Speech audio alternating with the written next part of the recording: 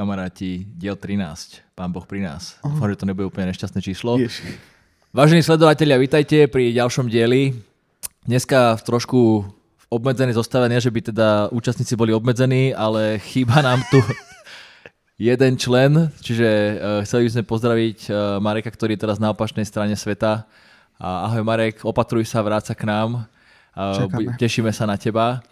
A sme tu teda v zostave, tí, ktorí nás nevidia, Viktor, čau Viktor. Čaute, zdravím. A Seržo, ahoj. Ahoj. Paťko máš. A, a témou dnešného dňa bude vlastne taký cestopis, lebo by sme sa chceli porozprávať uh, medzi sebou, ale teda aj vám približiť jednu perfektnú súťaž, ktorej sme sa uh, niektorí zúčastnili a tou je ľahká pechota Polsku. Jak je to po polsky? Lieka pekota? Leka pekota. Leka, leka, le, le, Leka pekota. Ak teda uh, som to nespierdolil. Aj. Hej, to je akože eh, prvá vec, ktorá je úplne super na celej tejto eh, súťaži, je teda to, že sa to dá v Polsku a polština je strašne srandovný jazyk. Eh, keď, keď to počúva Slovák, takže je to veľká pridaná hodnota. Ale oni sa vraj smejú aj na nás. Takisto, ak sa smejeme my na polštine, tak sa oni a, smejú vlastne na slovenčine, lebo že vraj akože slovenčina im znie, ako keď hovorí malé dieťa. No, môže byť, to je podobne asi. To ne? som počul tiež od niektorých slovanských národov. No, čiže eh, dnešný podcast eh, bude štrukturovaný tak, že my ako My sa rozprávame, vy počúvate. Presne tak. A, a teda chceme to... Chceme, to, chceme vám približiť túto súťaž, chceme ju približiť tak, jak sa vlastne k nej človek eh, dostane, čiže od registrácie ťažkej až po prípravu a potom po to samotné uh, dianie, ako to tam vyzerá, na čo sa pripraviť a tak ďalej. Ak by ste teda mali uh, tendenciu sa tam vybrať, tak uh, je to fakt dobrá skúsenosť, ktorá preverí uh, mnoho aspektov, o ktorých si určite porozprávame. Či od gíru po strelectvo, cez kamarátstva a proste všetky tieto veci. Takže máte sa na čo tešiť.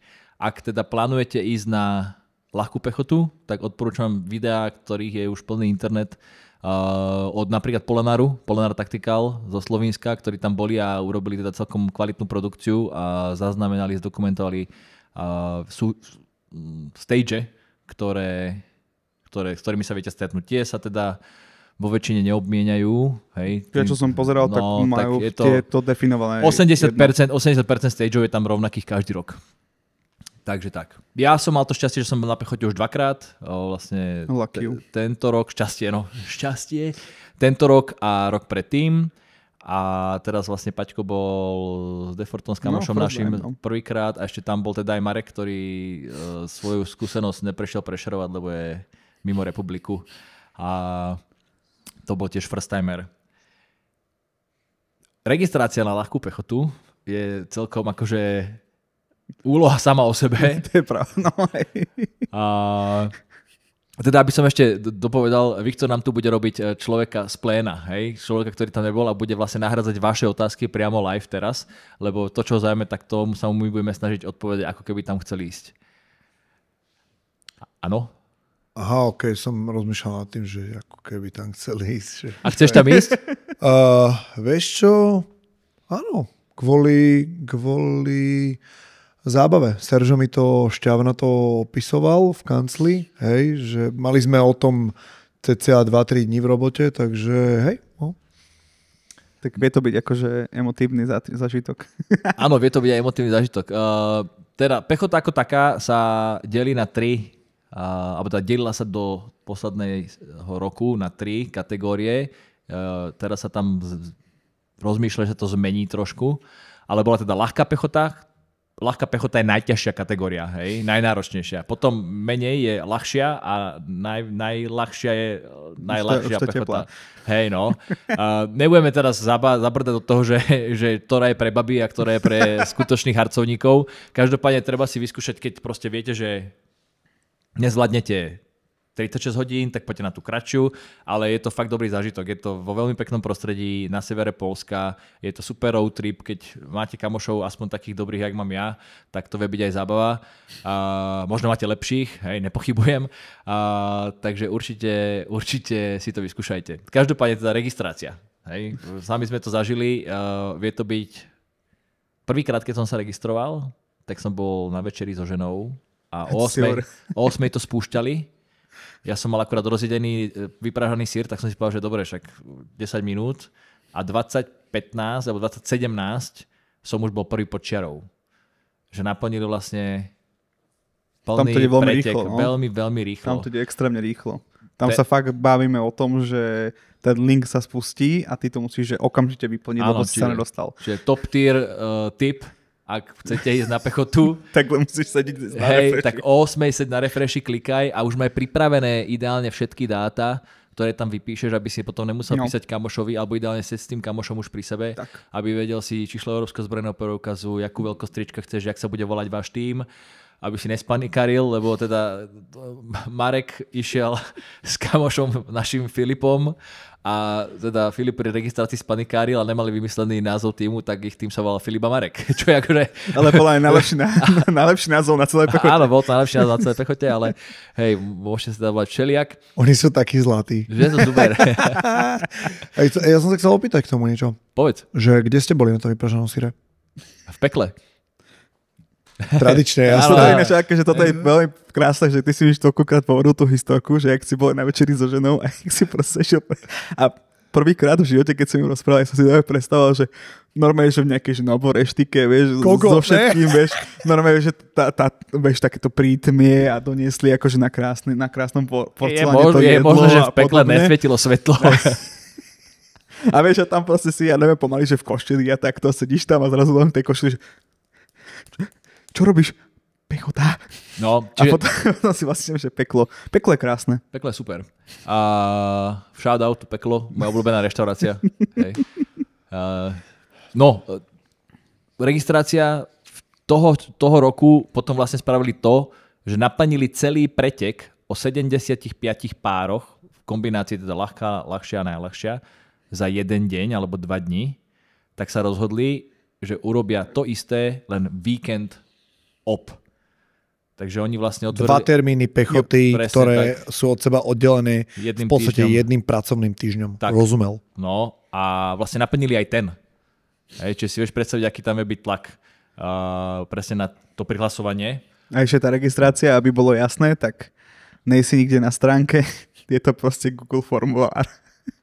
No že na Google formulár, ktorý je že zamknutý formulár a oni ho v tom danom čase proste zrazu odomknú, čiže ho vieš vyplniť. A normálne vyplňaš Google formulár. formulár. Nej, nej si, že niekde na e-shope, kde ti ide, že o odrátávanie a podobne a potom zrazu sa to odrátáva, ty sa vieš prihlásiť a ide, že ja neviem, na stránke všetko vyplňuješ a dá- ho do, do, do, že uložiť, ale ideš normálne, že Google formulárom sa prešuchávaš a vyplňaš tam všetko. Ono- Akože to vie byť funkčné, ale Chá, chápem, ale viete čo, viete, čo je zaujímavé, že ako keby, keď o tom hovoríte, tak e, človek ani nechce, aby sa to si menilo. Je to, je to, Ne, že ne, tam to začína, ono. tam Áno, to začína ono. ne, že, že neviem, do čoho idem, čo sa týka toho vyplnenia. Malo by to byť o 8. Vieš, No to, bol, to bola moja skúsenosť tento rok, že furt mi bolo rozprávané, že to bude rýchlo a podobne a ja som doslova sedel na gauči v Pressburgu a čakal som, čo sa stane a teraz ja som, ja som si re, reálne ten link ani nepre, neprečítal, lebo on tam ani nebol, že to je že akože Google Docs, ale niečo, a oni to mali normálne pekne prepísané, že to vyzeralo akože na ľahkú pechotu a ja len, že dobre, že čo to bude a som si, vieš, hlavy si predstavuješ zo všetkých tých kurzov, jak ideš na nejakú proste tú krásnu stránku, ktorá proste sa doje na, na spol niekoľko tisíc eur a tam bude veľký modpočet a čo ja viem čo. A teraz som na to klikol a normálne to bol, že survival do nedele, lebo proste hneď si v Google Docs a už si, že aj, to riti, viem presne, jak to funguje, tieto online formuláre, Ježiši Kriste, rýchlo to Ej, píš, rýchlo to jo, píš. A nech, to- nechce ti to zobrať, lebo No to, prečo by to fungovalo tento správne. rok, tento rok sme teda boli Čakali sme proste, o 8 to spúšťali v stredu, my sme docvičili, 19.55, všetci sedeli v Pressburgu proste normálne na riti a čakali pri telefónoch. Reflešoval. A kámo, a boli sme, boli sme, my sme boli že 44, vy ste boli 56, 55, no. 55 a Marek s Filipom tento robil z domu, ten bol 38 alebo koľko ty, 36 v poradí. Hej. Čo sa stalo teraz vlastne, akú spravili zmenu oproti minulému roku, bolo, že neotvorili dva víkendy, ale otvorili prvý víkend pre dve ľahšie kategórie a jeden víkend pre všetkých pretekárov z kategórie ľahká pechota. Čiže 85 párov alebo 84 párov No. súťažilo len v tej jednej kategórii ten daný víkend tam, kde sme boli teraz my. Čiže to si predstavte, to súťaž párov teda, hej. A a to je 160 ľudí plus, hej, to je extrém. A čo sme vlastne asi nepovedali, lebo ne všetci vedia, čo je ľahká pechota, že? Ľahká pechota je súťaž párov, strelecká, kde teda cez 36 hodín, uh, to sú dve noci, potrebuješ vystrelať zhruba 26 plus stageov, No, no, chodiť 36 plus kilometrov, Áno. či tak nejak to je odkajakovať nejakých 8 kilometrov, uh, vyriešiť taktické úlohy, povieme si potom jednotlivé tie disciplíny a Fyzicko, prežiť tam, takticko, hej, hej, prežiť tam, hej, všetko si nosiť so sebou v ruksaku, uh, okrem vody, Hej, hej. okrem vody a, a je to teda super zážitok na telo, ducha, gír, aj proste akože French, fre, fr, Freundschaft. No ináč toto je veľká pravda, že minimálne, ak nič iné ti tá súťaž nedá, tak ti minimálne povie, že či máš tie veci nastavené správne. Že, Že je to dobrý gear shakeout. Tak. Tak, že ťa nič To akože neodiera. to to, to, keď máš proste na sebe uh, kit proste s nejakými plastovými sponkami a potom si to zrazu pridaš k tomu ruksak, tak zistíš, že tie dve veci spolu nefungujú. Alebo niečo proste. Áno, lebo máš pod rebrom niekde strčenú dva dní No, a potom doješ domov a žena sa pýta, prečo máš dierku. nice. Alebo ťa to aj krásne naučí to, že veľakrát si ľudia povedia, že keď máš v gear liste, či už je to čokoľvek, čo urobíš, niekam ideš na dlhšie a máš gear liste proste, že čistenie na zbraň, tak si povieš, na čo ti bude čistenie na zbraň. A tam zistíš, na čo ti je čistenie na zbraň. Jasné. Ja keď som vyťahoval z kajaku vlastne svoju pušku, ktorú som vlastne vo vode ani nevidel, Tomu sa tak, dostaneme. tak akože áno, ale vieš, že ako Hej. to je moment, kedy si povieš, že asi by si mu mal teda fakt vyčistiť predtým, Áno, že chcel si povedať vlastne to, že zrazu zistíš, že veci, ktoré bežne by ti nedávali zmysel, ti zmysel dajú, lebo, ich, lebo vlastne ten svoj gear podrobíš tak dobrému a No. rozsiahlemu testu. Tam áno, tam áno. A ešte som sa chcel teda opýtať, že či môžeme, ja, ja viem, že to je asi jasné, ale že či môžeme um, zhrnúť teda, že tá registrácia okrem interfejsu, cez ktorý sa musíš dostať a tak, je výzvou práve uh, preto, lebo to indikuje to, že tá súťaž je tak úspešná? Môžeme sa baviť o tom, že tí ľudia sa tak veľmi prihlasujú a tak veľmi to je vybukované, lebo tá súťaž je tak úspešná, je tak dobrá. Organizátori to spomenuli teraz na poslednom vlastne debriefingu, že toto už vlastne nie je tak súťaž ako challenge, že tí ľudia si akože prídu vyskúšať toto, že to umiestnenie je akéby druhoradé, ale ty ideš o ten zážitok. A, a že to je taká choroba. To tam tiež spomenul, že, že oni sa tiež čudujú, že prečo tí ľudia chodia stále, že keď ste prišli raz, že už vás tu vydávame akože pravidelne, lebo je to, je to také, že, že dobre, však proste bol som na pechote a budúci rok nepôjdem, že neviem, aspoň pre mňa je to také, že dobre, to je pekný, e, tak keď robíme upper body round robin vo fitku, nejaký test, tak toto je podľa mňa akože taký pekný ultimátny test. Musím uznať, že v tom kruhu našich kamarátov je to taký trochu status. Akože nejdem z toho odpadnúť konkrétne ja, asi preto, lebo mám ešte milión vecí neporiešených. Hej, a, ale je to taký status, bol si na pechote, nebol si, mm, vieš, ne, ne vzlom, ne, nedávate vy niekomu niečo najavo, ale ja viem, že ľudia sa cítia, že no tak asi by tam nešiel s vami Marek, keby to, mm, keby to neznelo zaujímavo. Chápete, čo myslím, hej? Že, Asi hej, no. že je to, Marika sme to tak dokopali, ne, celkom. Že, kopali ste ho do Hodi, rebier? hodiť vlkom. hej, no. No, no. Takže, Poď s ním. hej, takže ne, dávali sme dohromady, akože my sme tam boli teda uh, s Ondrom uh, rok predtým a mali sme super zážitok, takže potom v rámci teda našej skupinky sme teda apelovali a robili evangelizátorov, že treba to vyskúšať a teda chytili sa chalani. Čiže teraz sme vlastne postavili, postavili sme tri páry, čo je akože celkom pekné si myslím, že vieme postaviť tak, tak d- tri týmy. A nehovorí o tom, že teda bol tam ešte jeden tým zo Slovenska, Jo. chalani z, z No, Prešova, to je Black Market. Áno, Black Market. Áno, Ó, Áno. e, jasné. takže s tými sme boli, uh, s tými sme tam stretli, potom sme tam stretli rô- rôznych kamošov, či už z Rakúska, alebo z Nemecka, Tak Benjiho. tých, čo postretávaš na Áno, súťaži áno, áno, bežné, hej, hej. ne? Takže nebolo tak, že by sme tam úplne išli akože do cudzieho sveta.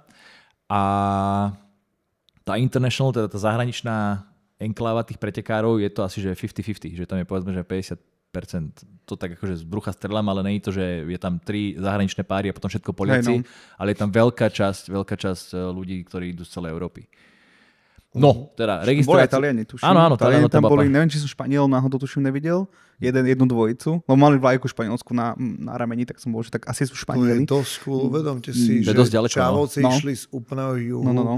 takmer na úplný sever. Pre, No. pre mňa Poznaň, No to áno. kde chodíme trénovať do Polskej SI, už to je pre mňa, že severne. No, a toto to je, zima. toto je pri Gdaňsku, e, čiže úplne sebe, asi hodinu autom od mora z ho, severného, takže je to pekné potom tam akože dať si ten výletík, to, tomu sa No, dostaneme, to je akože pravda. dekompresiu alebo debriefing.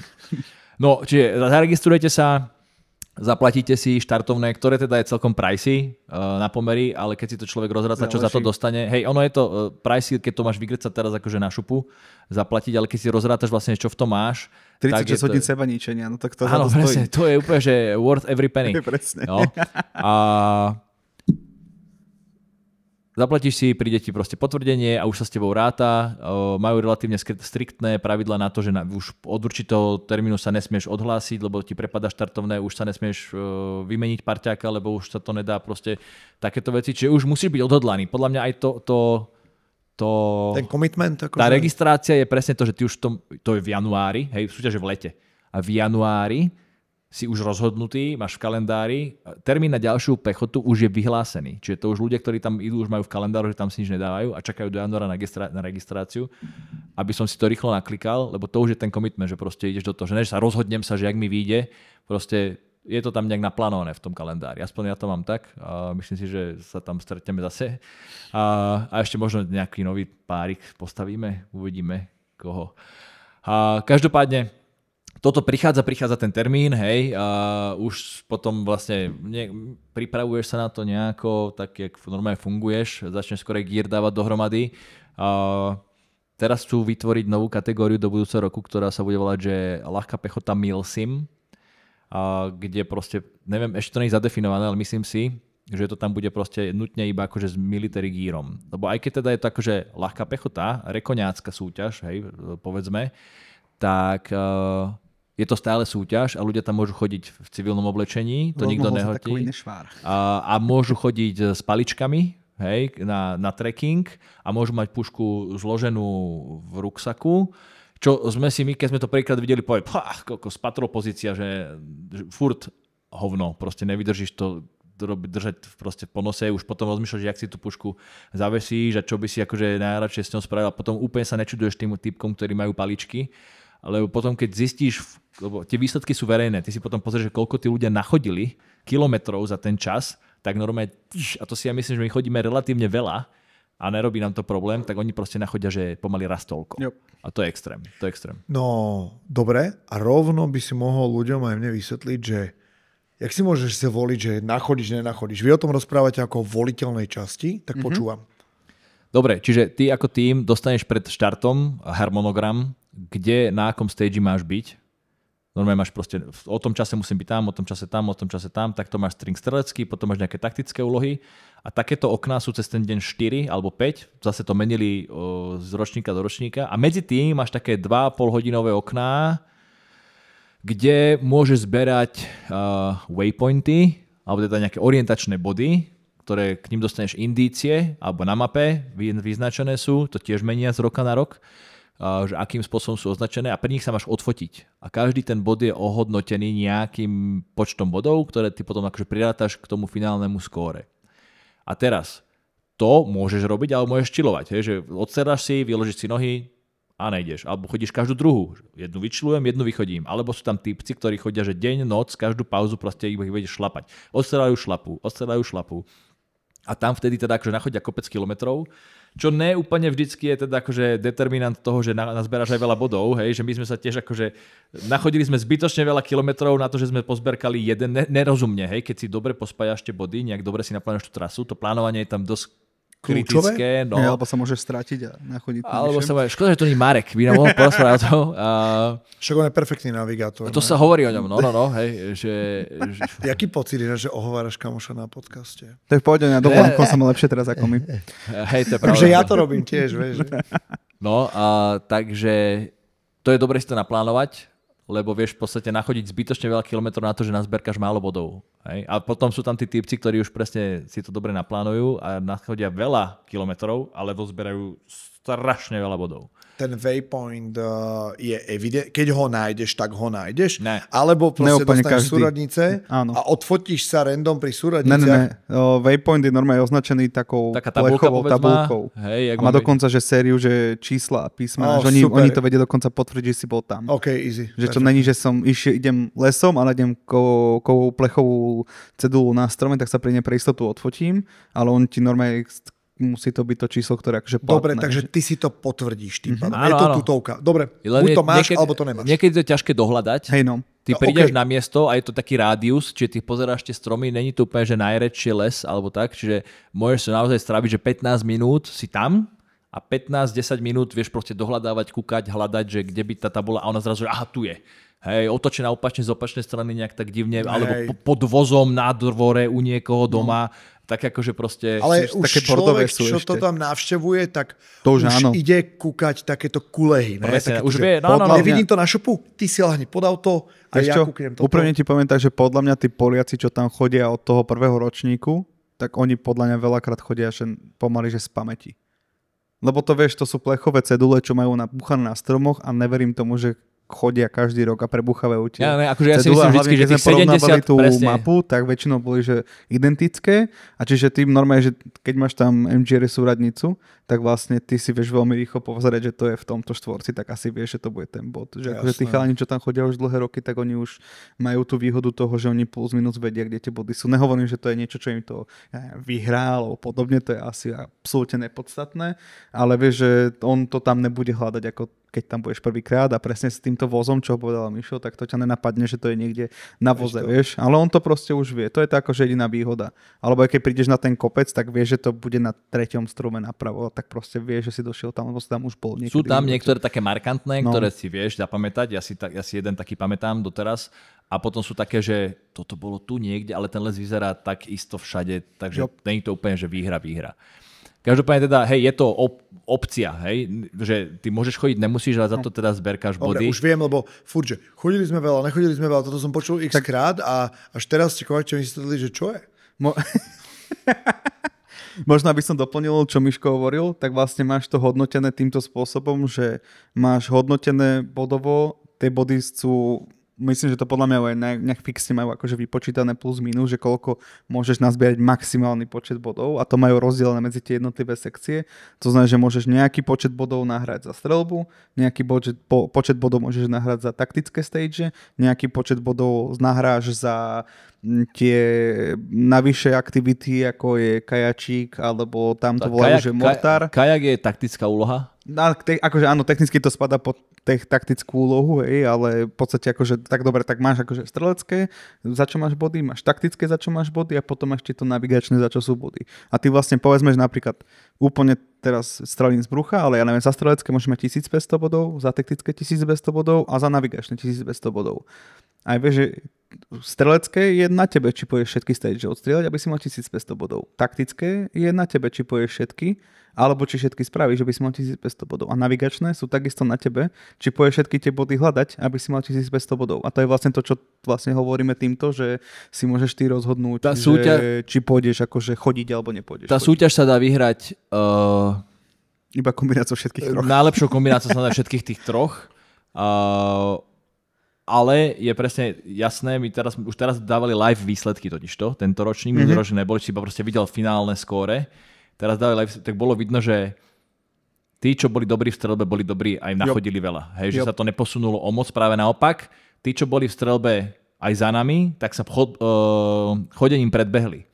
Hej, že vlastne naozaj tá chôdza je tam veľký To som element. sa išiel opýtať, že či dokážeš to nejak vypomerovať a že či sa No viem ti niektoré povedať- paterny opakujú v Viem ti podstate. povedať z našej skúsenosti, že do streleckých, na streleckých úlohách sme do posledného stageu boli 8 a keď sa prirátali za chôdzu, hej, body, tak sme skončili 22. alebo tak nejak, 23. Čiže vlastne prechodili nás čávovci, ale, ale keby, ale tí, 8, tí, tí 7, ktorí boli pred nami, boli tiež medzi tými, čo dobre chodili. Hej, že aj, tí boli fakt, že dobrí, tí boli brutálni, hej, že tí aj nachodili, aj na, aj nastrelali úplne super. Plné počty, proste pozberali kamene, no extrém. Hej, frajeri. Super na tom je to, to sme si hovorili viackrát, že keď si pozrieš ten rooster tých pretekárov, tak prvé, prvé uh, Neviem, či to bolo prvých 5 alebo 8 dokonca. No, boli čauvia, čo sú proste čo vlastne akadémie. No, že pol, v Polsku. Čo robia Majú inštruktorov školy, obchody.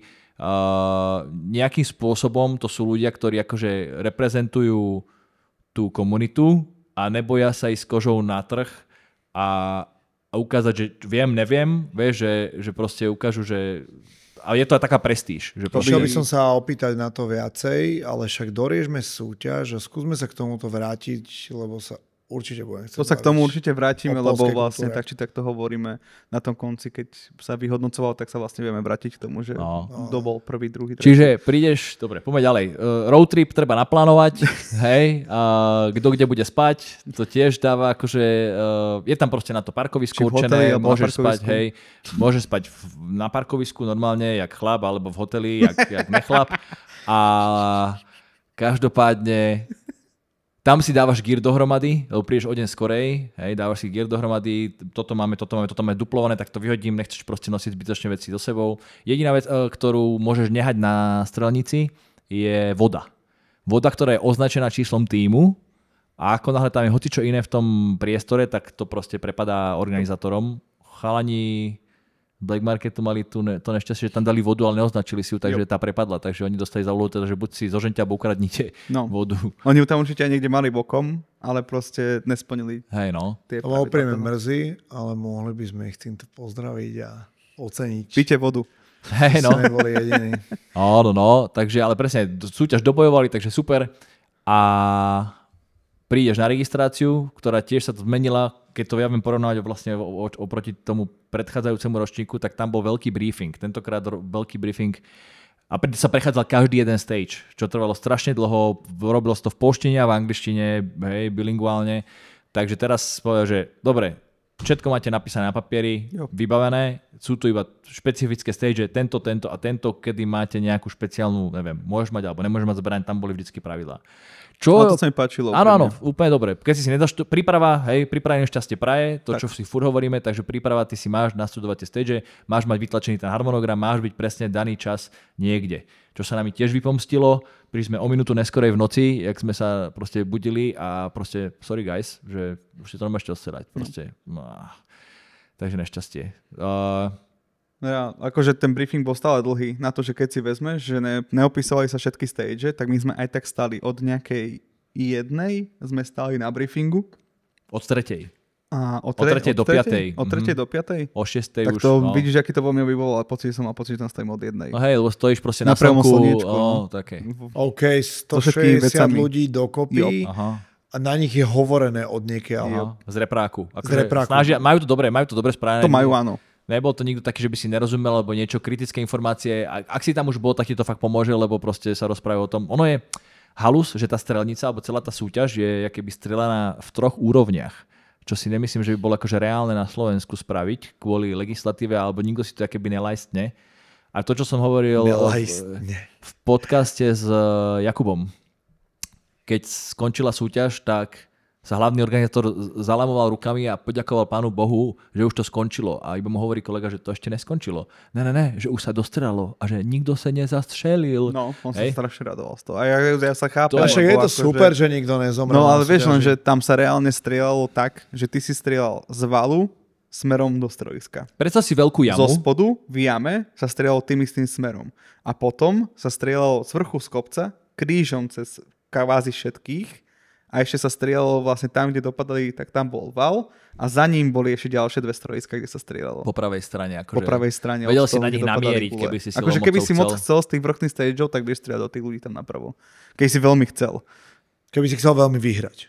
Áno, áno, Áno. Mne sa tiež napríklad stalo, a to už sa zmenilo. Že po tebe strelali, lebo chceli vyhrať. Strelali, ne, ne, strelali sme, strelali sme minulý rok sniperský stage, ten úplne akože taký rany, tam bolo, že máš na 500 metrov streliť, trafiť a strelal si z takého, z takého altánku, aby si bol vyvýšený, aby si videl do tej jamy a hneď predtým dali, že stage 400 ktorý bol iba o 100 metrové keby ďalej, bol tak na 45 stupňov od teba, čiže ty si ho nemal v zornom poli a oni tam veľmi dbajú a dostaneš vytlačenú mapu, že kade môžeš chodiť, hej, a že čo je zavretá, zavretá cesta, keď sa strela vtedy, čo je otvorená cesta.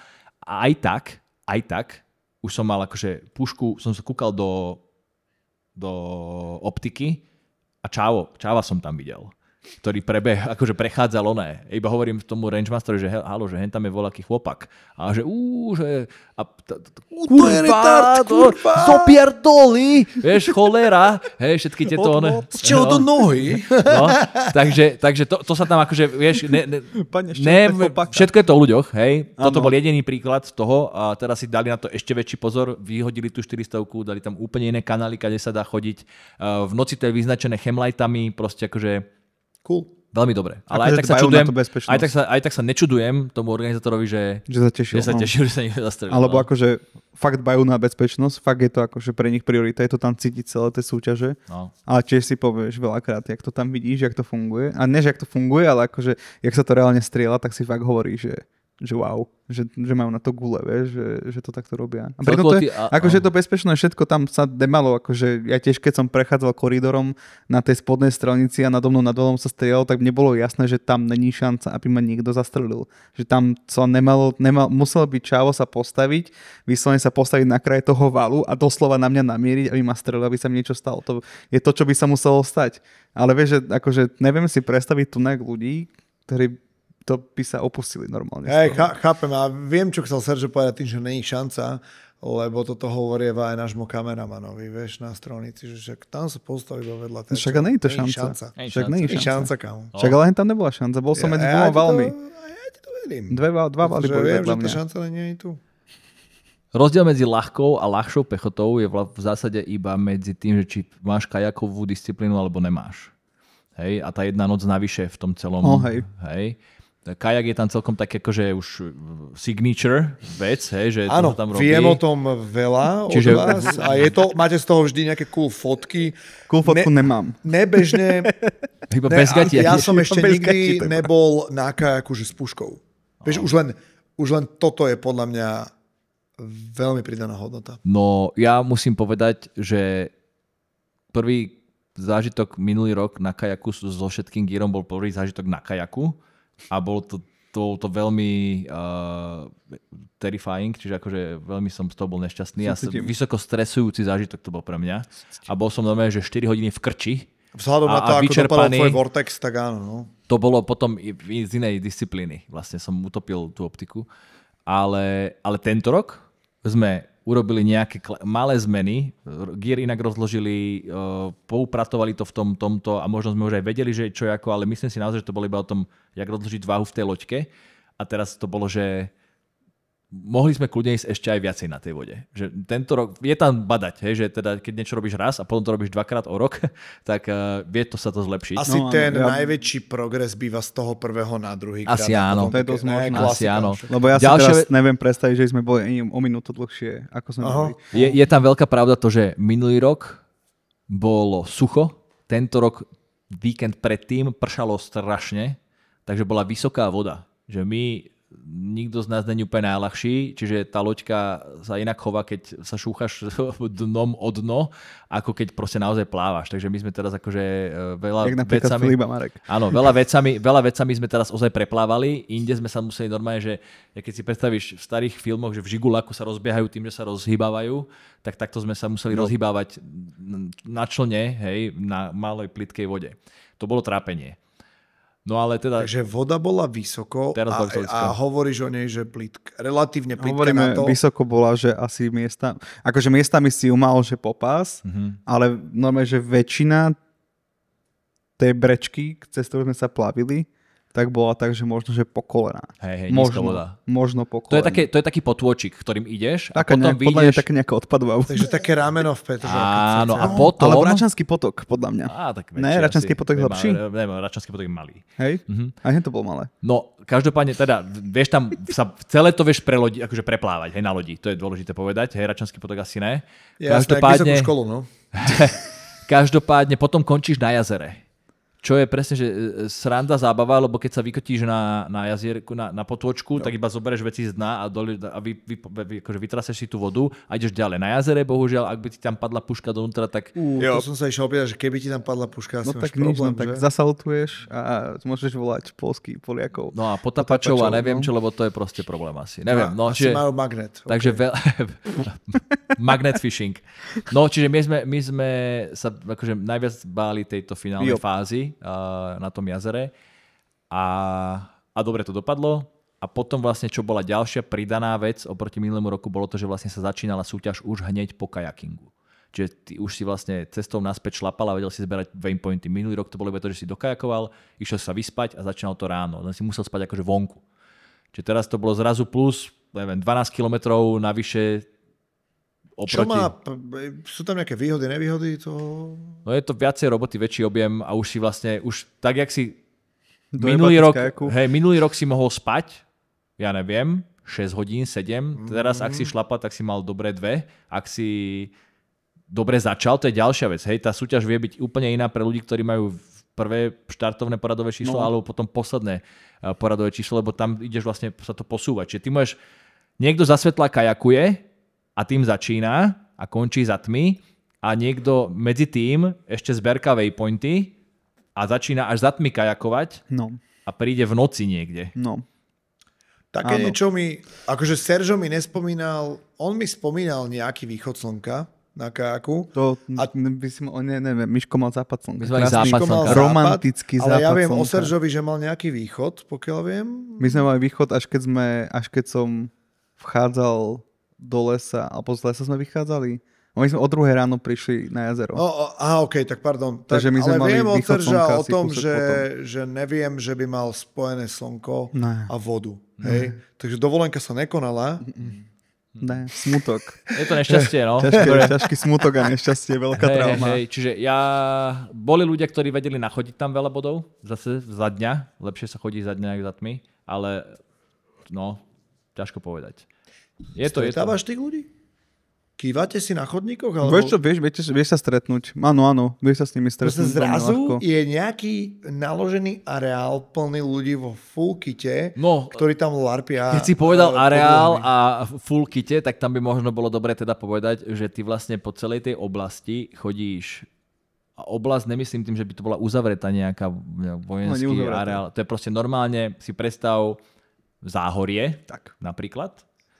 A A, tam, Viem asi, o čom hovoríš. a medzi dedinami by si chodil čávo proste v No. multikeme s gírom a s puškou No. patrol position, Tak Zrazu vybitou. prídeš do veľkých levár a ja len prejdeš cez ne. No, Hej. a preje. A prípadne sa dávaš ďalší taký čavo. A my sme si, áno, my sme si teda mysleli, že to je tam akože v pohode legislatívne, alebo niečo a potom vlastne zistili až tento rok, že to je tak na dobré slovo, že to povieš na miestnom úrade a oni to potom vyhlásia tam v tých okolitých dedinách a už sa to tam deje desiatý ročník, tak už ľudia vedia, že tam proste v lete takto chodia debili. A, a nikoho nezastrelili zatiaľ. A teda presne preto aj nechceš nočiť, uh, rušiť nočný kľud, robiť, máš nejakú light disciplín aj v rámci pravidiel, aby si teda neurobil zlé tým susedom tam, aj napríklad. Čo teda napríklad Mareka a Filipa normálne zastavili policajti. Čo vy tu robíte? A oni hneď tak akože, seri, akože suverene, však "Ó, ľahká pechota.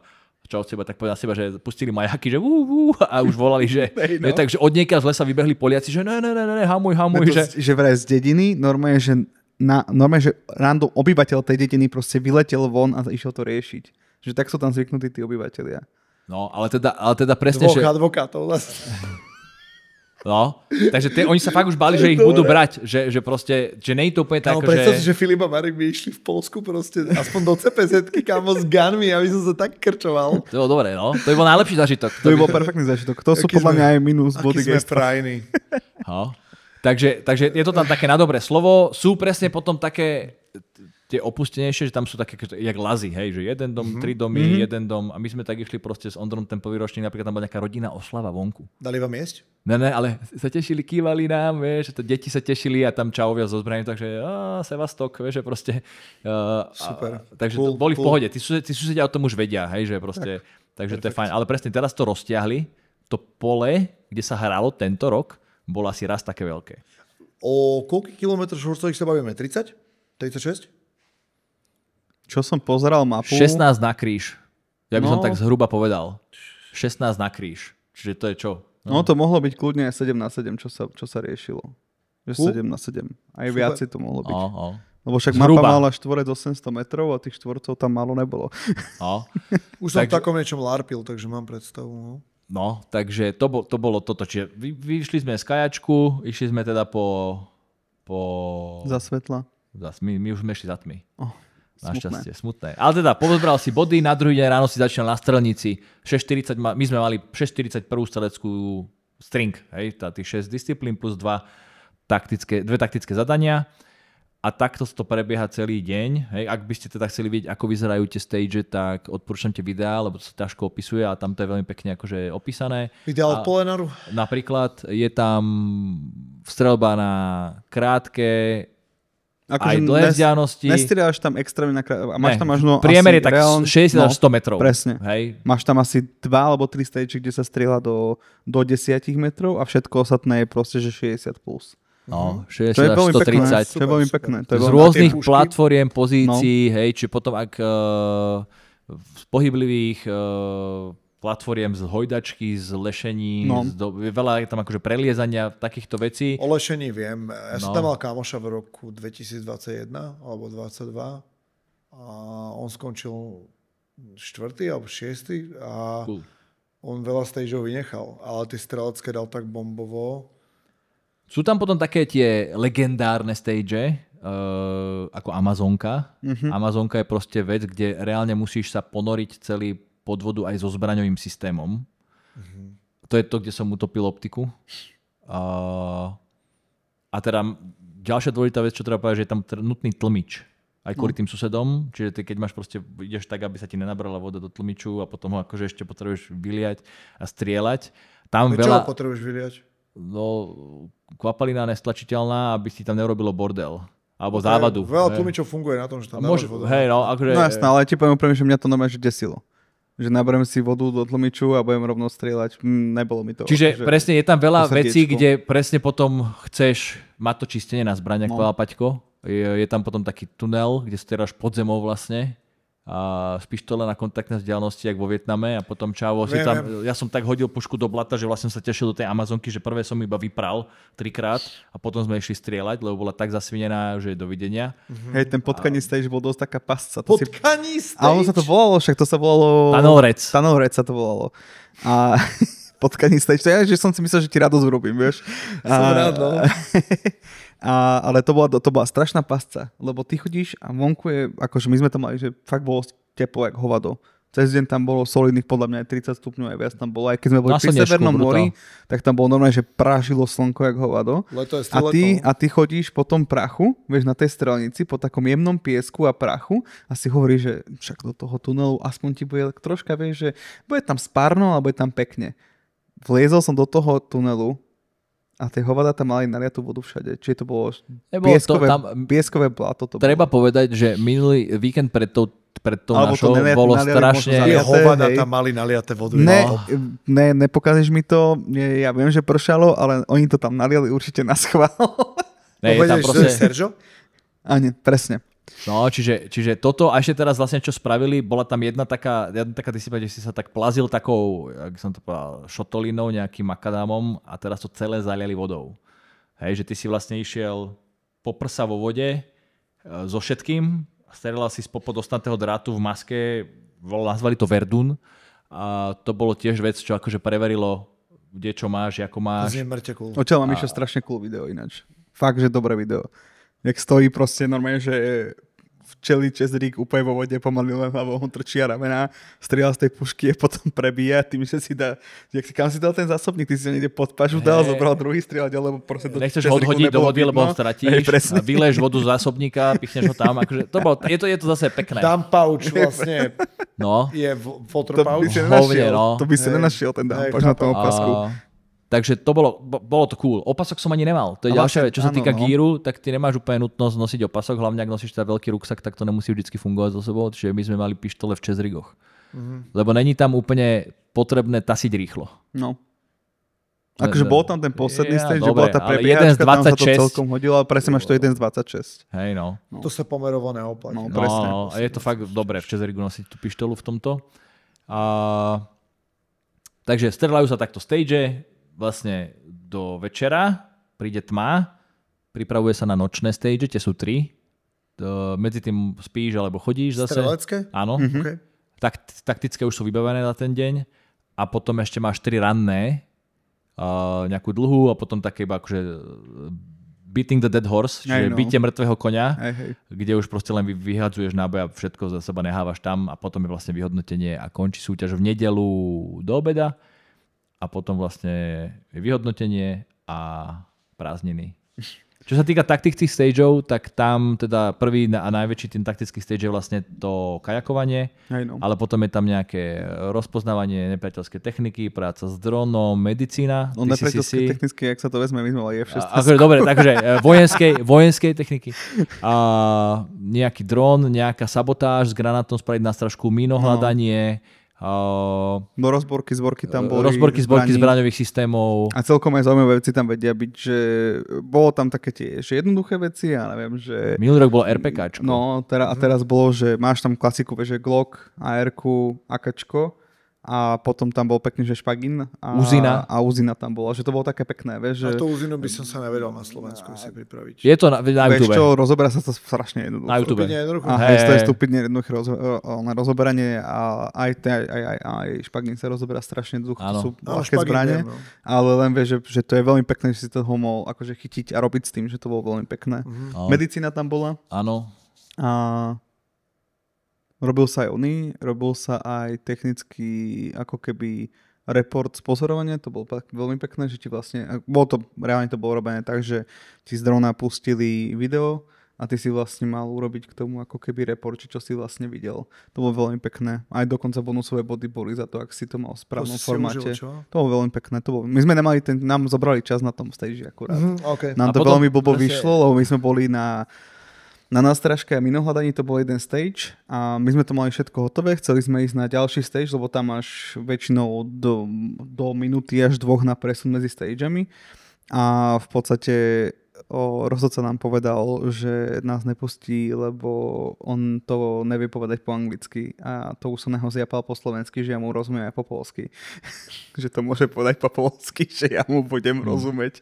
Tak nás tam držal tak dlho, že vlastne keď sme prišli na ten horný stage, tak sme mali asi že dve minúty na to, aby Je to, sme... je to halu, že ty, napríklad my sme tých prepozíciách vieš, že keď máš niekde svoj gear, ktorý nosíš, oni ti buď dajú drona, alebo keď ho nosíš svojho, tak dostaneš bonusové body. Alebo gear na lezenie po stene, alebo zlaňovanie, keď nosíš svoj, máš bonusové body. Hej?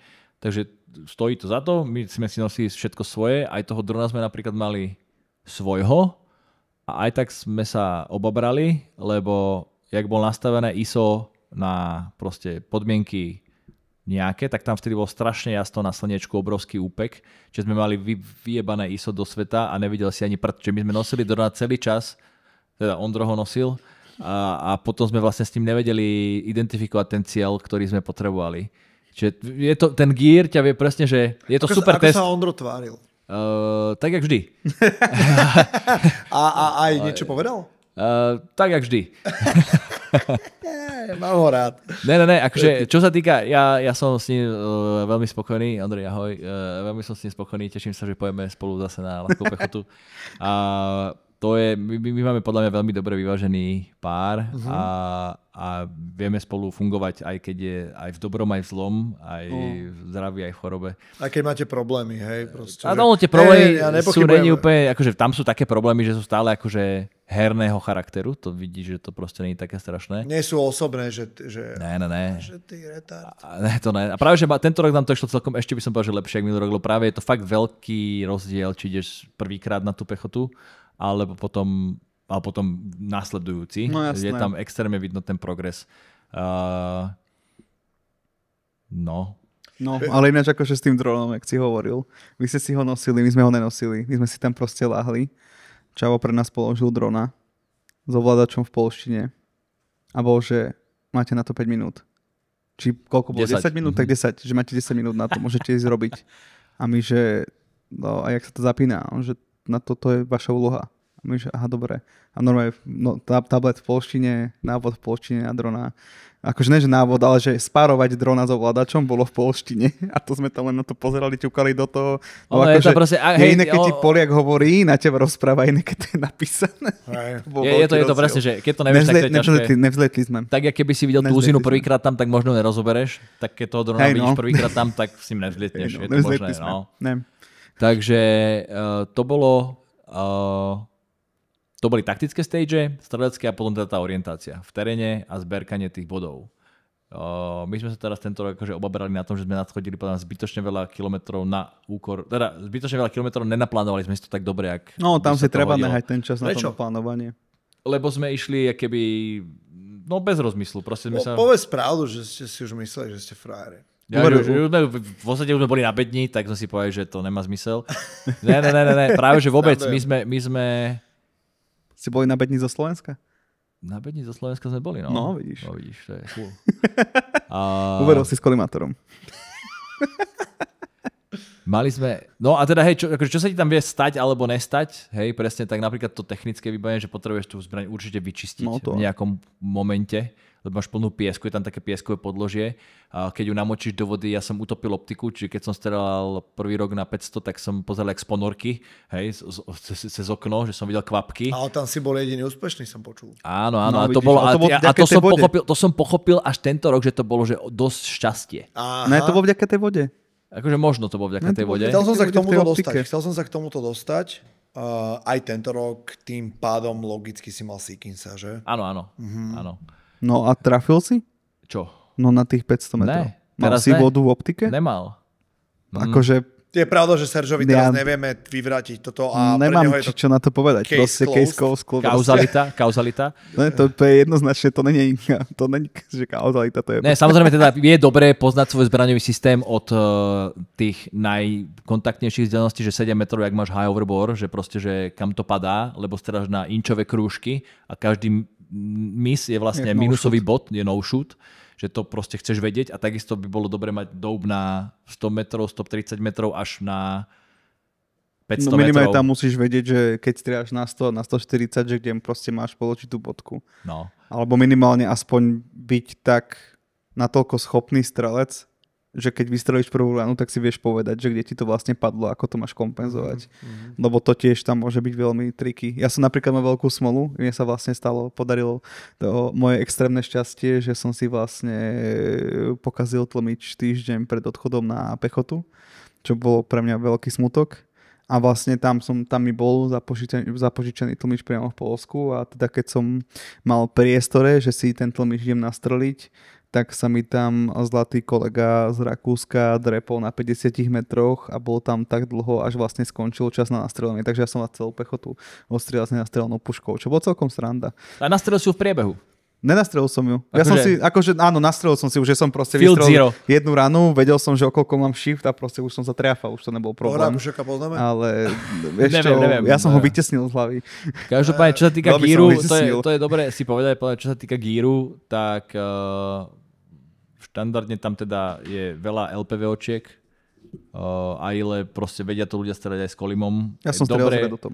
dobré, je, dobré je mať ten pár, ten body team proste vyskladaný No, op, akože optimálne. A čo sa týka nejakého nylonu na sebe, tak vlastne nemáš Mil, prvý rok, keď som tam bol, tak bol normálne v pravidlách napísané, že musíš mať na sebe vždycky nejaký uh, Štyri hardness bearing a a- 4 zásobníky. Teraz to už nebolo. Že reálne si mohol chodiť celý čas v opasku, alebo celý čas si mohol mať ten čezrik Jo. hodený v ruksaku a iba si ho vyhodiť na tom stage. Myslím si, že práve preto teraz budú dávať tú kategóriu uh, Milsim, kde reálne budeš akože mať, musíš byť vyzbrojený celý čas, uh, tak, jak sa slušia patrí, ak sa teda chceš hrať Milsim. čo z jedného pohľadu, akože poviem tak, ako som to videl, z jedného pohľadu veľmi chápem, že je to v prvom rade súťaž. Čiže ak ti to súťaž a pravidla dovolujú, tak akože prečo by si to mal mať na seba aj napriek tomu, keď to mať nemusíš. To chápem. Áno. Je to proste súťaž a našiel si ten competitive edge na to, aby si bol lepší ako ostatní. Na druhej strane, ja poviem úprimne mne, to akože kazilo ten dojem, keď si proste videl zrazu Čáva s maličkým, proste normálne, že regulérne až o, lahúčkým batohom, fakt, že maličký. Dobre, že nemá vansky a skateboard, Hej, proste no. normálne, že Nordic Volky a úplne bol, že najľahšom oblečení, čo sa dalo, puška zalomená proste na chrbte a len proste si Nordic valkoval preč. Ja si myslím, že brutálne normálna vec. Akože jasné, úplne že, super. Že keby, si, keby to takto ísť ďalej, tak vlastne tá súťaž by bola absolútnym benchmarkom na najľahšie a najviac durable turistické veci. To som presne sa No povedať, to že to si, to si partizán brutálny, ale teda ten klub, ktorý sa volá, ktorý to organizoval, škola partizantov, Hej, no. Hej, tak ja si myslím, že to je práve akože pekné, že ideš e, v semicivilnom oblečení, v semicivilnom setupe, čo najľahšom, tak aby si proste aj do koča, aj do voza, že nezastavia ťa policajti jak našich chalanov v multikeme, uh, lebo proste si tam taký jak, akože polocivil. Netušá, no ale... Mne sa to ľúbi, mne sa to ľúbi. pravda, To sa pekné. to sa chcem baviť aj o tom vlastne, že uh, na, na, na poslednej epizóde sme mali Kuba uh, Xa a vlastne IPSC došlo tam, kde došlo vlastne kvôli tomu, že vieš, niektoré pravidla sa nemenia. Ono je to aj v boxe, že potom tí ľudia tým štýlom vlastne trénujú, hej, a, a je dôležitejšie proste mať nejaké kardio, ako napríklad um, venovať veľa času tréningu nejaký, nejaké najväčšej bombe, akože všetci z tých ľudí majú, ale vieš čo myslím, že, Áno. že aktivita sa, sa proste nejako boduje a vlastne ty na základe toho vyľaďuješ seba a to IPSC je také isté, vieš, že, že potom ľudia začnú, že, že tak som pohodlne oblečený, preto majú tie dresy, hej, sú tam nejaký druh kraťasov, rozmýšľajú nad teniskami, ktoré majú perfektný grip, hej, tie opasky. Vieš čo myslím, že, že, že vlastne to, čo Seržo opísal, to je presne človek, ktorý, jak si povedal, našiel ten competitive edge, Hej, hej, hej, ale tiež v mojej hlave, v mojej hlave um, by som nechcel prísť o príležitosť vyskúšať si, jak mi sedí môj čezrik. No, vieš, akože ja plne súhlasím s tebou. Či už je to akože z pohľadu na to, že si akože super partizán, alebo to je z pohľadu na to, že sa vieš akože nájsť ten competitive edge, lebo áno, v prvom je to súťaž. Na druhej strane potom neviem, či sa to má volať akože ľahká pechota, to je akože asi jediné. To je, ja s tým súhlasím, ale tiež som išiel v Čezrigu a tiež som to akože robil, nemal som pušku založenú v... Čiže ja, hej, tu sa nájdeme, ale ja chápem ten Áno, pohľad, ale áno, presne, áno, áno, áno. Pre mňa to stále je viac challenge ako súťaž. Tak pre, a toto je presne to, čo že má si na to ideš no. vyskúšať, No. že čo, keď ti tvoje oblečenie celé prevlhne, že nevyzlečeš sa do toho... bo- Do, vyzlečeš. Hej, ja, som, ja do toho Verdunu som išiel akože oblečený a teraz Je som tak. vedel, že jak to akože vyskne rýchlo, hej, že proste čo sa stane s tým. Mal si Ebremsi? A, áno. Mhm. A boli A? super. OK. Boli super. A práve kvôli tomu napríklad, to je jediná vec, ktorej sa akože bojím v tom Milsim, že ak povedia, že tam majú byť že military boots, tak budem musieť skúšať, lebo ja som extrémne pro ľahké tenisky. Mm-hmm. Ja som prvú pechotu odšlapal v nanočkách Reebokových, čo je akože crossfitová obu, normálne do haly. A teraz som bol v Altrách, čo sú vlastne ultra trailové bežecké tenisky. A to mne strašne sedí. Čiže ja keď si mám predstaviť, že by som mal to šlapať v lovách, alebo nehovoria o tom, že určite si tie nohy namočíš niekde, tak keď sa ti raz naleje do Goratexu, tak, alebo do veľkej boty, tak tá bude schnúť dodnes. Hej? A henta teniska norme si videl na nej jak v priebehu nejakej chôdze, jak začnú tie akože suché škvrny na nej rásť a rásť, až ti to na tej nohe vyschne. Keď máš dobré ponožky, že proste naozaj vieš na sebe vysušiť to oblečenie, Jasné, keď šlapeš. A, myslím, že tá... Uh, čo starostlivosť o nohy? Mali ste púder, uh, nič neriešili ste? Jak Ne, mali sme Ja som akože ponožky a puder. polovičný, taký ten púder spray sme mali. OK. A, takže to chvíľu. Takže v tej... Uh, Sudokrém, odporúčam. OK. Sudokrém na zaparené riťky a takisto aj na ošuchané stehná. To je strašne dobrá vec. Lebo bavíme sa o tej Milsim kategórii ako potenciálne, že čo to asi bude, však ale povedzme, že to takto nejak bude, tak tam asi uh, tá starostlivosť tie nohy bude, bude veľmi kritická. Keď si presne povedal, keď už tie boty tak dobre neschnú, tak treba to niečím celé komplimentovať, no. aby si dokázal tie nohy ďalej používať, lebo sú kľúčové pre tú súťaž. Tak, podľa toho, čo no. hovoríte. Hej, hej. Takže to, uh, Čezrík funguje super, ľahký, nepo, ne, nikto tam nejde s helmou a nikto tam nejde s Ne, vestou. to Hej, ne, ľudia ne. si myslí, že to musíš nosiť so sebou. Tuším tam, raz som tam videl typka v plate kariéry a potom nedopadol, nedopadol dobre. A nosí so sebou nejaké... To bola taká vec, čo sme akože podcenili prvý ročník a teraz sme to zmenili. Zásadná vec v gíre. Sme si hovorili, že však aj tak nebudem veľa spať, tak som si zobral iba level 7 bundu Mhm. a, a malé podsedačiky. Tú Auri jednotkovú? Áno, áno. Cool. Tá je veľmi teplá, veľmi akože zbaliteľná a čo sme teraz vlastne spravili, že sme si investovali hej, ten priestor v eh, ruksaku na spanie. Čiže normálne sme si zobrali spacák, síce letný, však leto, a, a, bolo to 101. Že radšej spať 2 hodiny poriadne, jak 6 a len tak, že sa vlastne prehadzuješ a t- t- mrzneš. Uh, je veľmi dôležité, že kde tam spíš, Aj lebo no. tým, že si pri mori, tak je tam v lete, v lete cez deň strašne teplo a v, v noci je tam mega zima, Jo. ale mega zima akože na tých poliach, na tých rovinách. No. A keď si hore v lese asi o 60 výškových metrov vyššie, Tak tak je je, to že úplne luxus. A to sme my zistili až teraz druhú noc. Uh, lebo presne prvé, prvé sme spali dole a to sme tam mrzli uh, a teraz to bolo, že super, normálne sme sa akože kvalitne vyspali, aj keď si vlastne cez tú noc sa trikrát budil na to, aby si išiel navštíviť nočný stage.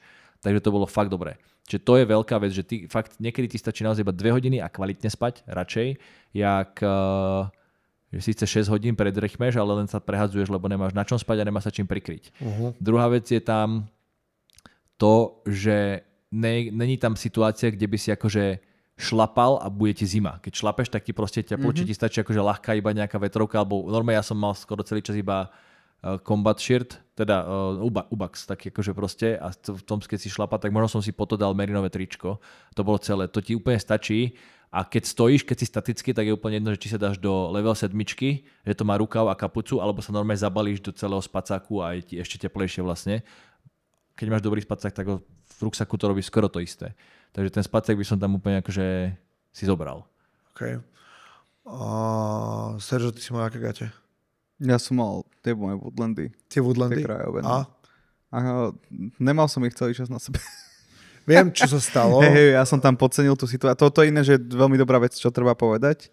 A to je to, že tým, že to je pri mori a vie tam tak dobre padnúť tá teplota, tak poviem úprimne, že my keď sme došli ku kajakom, tak mňa vlastne ten pád teploty vystrašil natoľko, že som vlastne nechcel ísť do kajaku akože vyzlečený, aby som nebol proste dve, alebo koľko to boli, 3 hodiny? Čo 3 hodinky cca. 3 hodiny kajakuješ vo vode a nechcel som proste riskovať to, že tam budem 3 hodiny kajakovať v studenej vode a studený vzduch vonku a instantne tam Slabo prechladnem. oblečený, jasne. Že slabo, fakt, fakt, že môj plán bol, že neoprenové, neoprenové ponožky, teda trenky a tričko. To bol plán, že takto pojem do oného, do kajačku a bude dobré. Čo stalo s plánom? O, došli sme k tomu potôčku a tým, že vlastne bolo celý deň teplo a potok bol teplý, keď som zistil, až keď som došiel vošiel, voň, do ňoho vošiel, že je naozaj teplý, ale vlastne z pocitu, ktorý sme k tému prišli, bolo, že tam bola obrovská inverzia, to znamená, že bol o, strašná hmla bola, no že popri rieke sa držala hmla,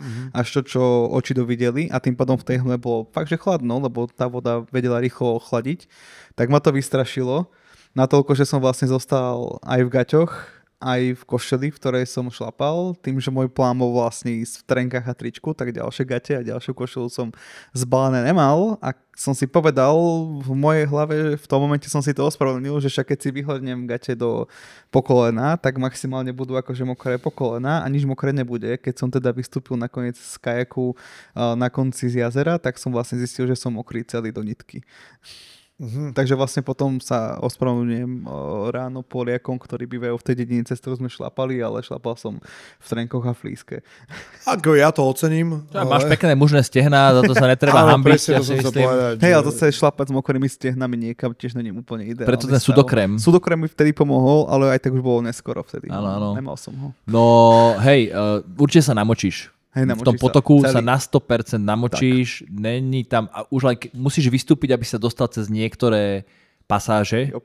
buď potlačiť loďku, preniesť ju, alebo niečo, čo určite sa namočíš. Hotovo. Alebo sa zasekneš. OK, a čo, aké z toho plyne nejaká, nejaké ponaučenie? No sú dve možnosti, ktoré som si ja z toho zapamätal, alebo to je, že nenehať sa akože vystrašiť toho, že tá voda bude studená alebo niečo, lebo to je to, čo mne išlo hlavou, že nepotrebujem byť 3 hodiny proste v ľadovej vode alebo v- na ľadovom vzduchu. A, a buď toto, že proste fuck it a ísť tam tak, ako bol plán, alebo si zaboliť veci navyše. OK, a hlava. Hlava vlastne v podstate išlo o to, že, že mal si e, nejaký pocit, emóciu a nepočúval si svoje rácie, lebo Áno, ty vieš, áno, jak áno, vrstviť, áno, jak sa oblieka, ty, toto, áno, áno. ty presne vieš, jak sa správa tvoje telo, keď sa Nepomohol, hýbeš. nepomohol ten deň predtým ešte, keď sme, už keď sme tam došli. A my sme vlastne celý deň boli tak, že vieš, že si cestuješ autom, v aute je teplo. Celý čas sme išli, že bolo vlastne... Do Slovenska bolo celú teplo. cestu bolo, že teplo. Že v Čiže fakt, že normálne, že úplne, že kraťasky, fakt, že tenké tričko, aj tak si bol spotený, teplo ti bolo. Ešte aj keď sme v Gdánsku, keď sme jedli v Gdánsku, tak tam bolo stále teplo. Nebolo chladno, bolo v Gdánsku bolo teplo. A potom my sme zostali stať, že to bolo, že toto, to je ten potok, to je ten potok, na ten sa bude kajakovať. My sme tam zostali stať, otvorili sme dvere a to bol normálne, že prepad dobrých, no 12 stupňov tam bolo Ja- menej, ja- ako to bolo celý deň. Ja keď vo filme príde smrť, že zrazu sa No. ochladilo, vieš, Dementory. no, normálne, Harry presne, Potter. presne, úplne normálne, že presne. vystúpiš, mňa tam normálne, že ozimilo, ja som zostal normálne, že adoriti, že kurník čopa, tak plán možno nebude fungovať. Tak sme si rýchlo objednávali ešte neoprenové, no. neoprenové papučky vlastne. A pritom reálne možno stačilo len zísť dole k tej vode, strčiť do nej ruku, zistiť, že je teplá jak šťanka a bol by si, že hm, dobre, tak to len inokedy také veci robíte, že čo je, vieš, že nič sa nedie. Ne? Akože tam bol, Aj, tak, dobre, tam iba nebol na to padajú. moc priestor, lebo my sme, my sme reálne k tým kajakom prišli a my sme vlastne na kajak vyražali 22,50, tak nech sme my išli na vodu, že 22,50 alebo také niečo. A tam bola, tam bola regulérne taká panika okolo toho, tam tí ľudia boli, že oni už kričali dvojicu a proste tá dvojica 3 minúty meškala, lebo neboli pripravení a takéto, vieš, takéto veci sa tam diali. Čo treba povedať, Čiže je my teda... sme nemali ten, nemal som tam priestor vojsť, strčiť tam ruku a zistiť to. Ja som to vlastne zistil, že ak už som zostal celý oblečený, všetko bolo zbalené a teraz, že ťahali sme čln dole tým kopcom do, do rieky a bolo, že som musel hneď vstúpiť akože nohou, nohou do vody. Ja som vstúpil nohou do vody a si hovorím, že chyba, tá voda je teplá jak šťanka. No treba povedať, že, že t- uh, tá, celá tá súťaž je veľmi striktne na tom harmonograme To je pravda, postavená. Čiže ty keď máš niekde byť o s- 19.02, tak 19.02 ideš. No. Hej? Čiže ne, že 19.02 tam prídem. My sme takto mali ten nočný stage, kde sme proste... Zvonil mi budík, ja som bol vypnutý a iba ma, že budí on to, že nezvoní ti budík a on mi už zvonil asi 5 minút. Áno, jasné. Že hej. do boha, že, že kedy to máme, vtedy, vtedy, že to nestíhame, hovorím, že to stihneme určite, poď, zoberieme si veci, tak sme proste prešli, pokiaľ prejdeš celú tú strelnicu, lebo boli úseky, kde sa nemôžeš držiavať, či nemôžeš spať priamo na stage, aj musíš byť akéby v nejakom zázemí, tak sme tam došli a čo hovorí, že, mm, ne, že už, to bolo fakt, že minútu alebo dve po, že sorry guys, že už sa to nedá. A majú tam niektoré stage, aj tie strelecké sú doslova, ja by som kľudne povedal, že sú aj tak naplánované, že je to naplánované tak, že nemáš úplne 100% istotu, že všetko stihneš. Vieš, že nie je to naplánované tak, že úplne v pohodičke Mhm. mm-hmm. s kľudom si všetko odstrieľaš, ale akože fakt musíš byť striktný, že ne, že dorobil som stage a ešte sa, ja neviem, Hej, chlebík s maslom, no, kontrolujem, proste. pozerám sa, o, dobre sme to spravili a môžeme ísť ďalej, ale to, že dostrieľal som, idem ďalej, dostrieľal som, idem ďalej. Ja som si myslel, že akože ja som mal pocit, keď sme to hovorili, že, že keď pôjdeme tie strelecké stage, tak to bude ten priestor na na Áno, to je presne to slovo. niečo? Hej, o BBB, BBB. Akože na oddych, tak, že akože tam Ok, budeš mať ten oddych. priestor nabrať tú energiu, lebo proste ideš a strieľaš. A to, že mi niekto povie, že tu mám prejsť 5 metrov a podobne mi bolo technicky jedno. Ale tým, že to bolo, že ideš sem, 2 minúty ďalej, strieľaš, 2 minúty ďalej, strieľaš, 2 minúty ďalej. Dve No. minúty, a tak A to vieš proste normálne string, ideš, že máš, taký eh, string, pff, String, že máš vrelú pušku, že ju nevieš držať v No. rukách, lebo tam dáš, že na jednom 30, na ďalšom 20, potom 5, potom 30, potom pištolu, potom ešte 30. Ja som tak išiel zobrať Ondrovi pušku, ale som si spálil som si prst, ešte doteraz to mám oné, Hej. lebo no jasné, lebo proste som to zle chytil ne za predpažby, aj tie boli pálivé, ale ja som to ešte, on má, trčí mu hlaveň, nemá Viem, predpažby, lebo no. on má 12,5 No. a Antrek robí tie... A že normálne, že zober mi pušku, lebo proste niečo a som sa popálil a to bolo tiež akože, našťastie som z toho nechytil nič, ale, ale to bolo, že mal som ten plus gear, potom sme sa nejakým kriakom tam škrábali, tak nejaké malinči do toho akurát, no pekné, také drobnosti, ale že hej no. Znie mi to dobre a čo sa mi na tom celom ľúbi, čo som si vlastne uvedomil a už som sa na to aj pýtal, ale teraz to viem dať do vety, že páči sa mi, že kľúčová je rýchla, dobrá rozhodovacia schopnosť No prioritizácia. to áno. Prioritizácia. Ty sa rozhodneš, tak takto idem a v podstate, hej, a potom zistíš, či sa my dobre sme tam mali takýto jeden, jeden takýto moment, uh, ktorý bol taký akože výkladnou skriňou tohto, čo si ty povedal, že tie stage boli stavané na dvojicu. To znamená, že je im úplne jedno, kto to z toho odstrelal. Proste ty ako tým to proste musíte spraviť. Tak to bolo presne tak, že ja som vlastne išiel do toho Verdunu sám a vedeli sme, že to je tá, tá voda, kde si pod tým osnatým drátom, že sa namočíš, že či máš proste gír mokrý, boty mokré. Uh, a ďalší stage odtiaľ sme mali na kopci, kam si sa musel akože dlho dostávať. A to už mokrý akože nedáš úplne tak rýchlo, pokiaľ vyjdeš z tej vody, lebo ty dostredáš si v strede jazera takého divného, tak sa musíš dostať na kraj. Tak sme to proste napadávali tak, že dobre, uh, ja budem vo vode, Ondro bude vonku, ako ho dostredám, on podpíše ten Leicester a uteká na ten stage. Ja som si tam zatiaľ akože zobral veci, dobehol som ho, akorát som došiel tam, keď on strelal, boli sme tam dvaja na tom stage, išli sme ďalej. Super. Hej, čiže chce Super. si tak, Toto že, to, to znie cool. to je, že niektoré veci musíš, ne, je to škoda pustiť, lebo je to proste 100 bodov, alebo 120, čiže to je škoda pustiť.